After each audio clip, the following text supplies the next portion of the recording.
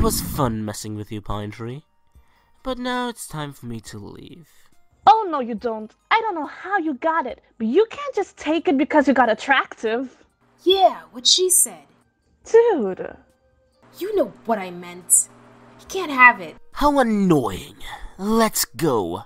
Never! Dang it. Thanks for making this easy, Pine Tree. You're really not that smart. You threw the journal right at me. No! What? Wait, Dipper! Ugh, I won't let you. What are you doing?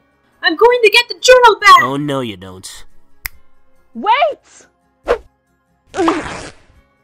oh no. This isn't good. Dipper, what happened? Hey guys, I hope you enjoyed the video. Hit that like button or subscribe if you wanna. Stay tuned and keep up to date with the bell notification button right down below. Please check out the artists behind this cool comic and give them a shout out. Thanks, and see you in the next video.